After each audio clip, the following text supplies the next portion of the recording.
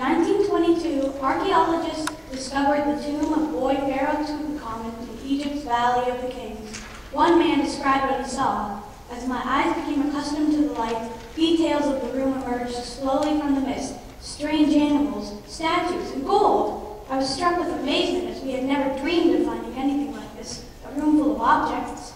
Soon, scientists from all over the world were headed to